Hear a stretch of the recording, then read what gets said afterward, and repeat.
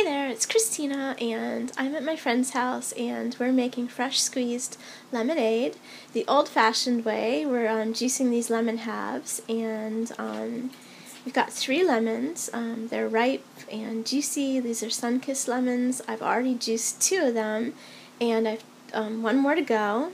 And um, as you see, this, this juicer catches um, most of the pulp and all of the seeds. It has like a mesh um, filter sort of in it between that and where the juice comes through.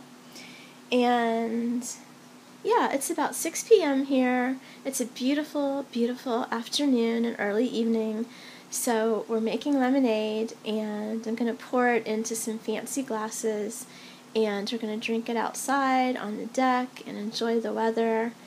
And yeah, I just wanted to make a video and show you what I'm doing tonight.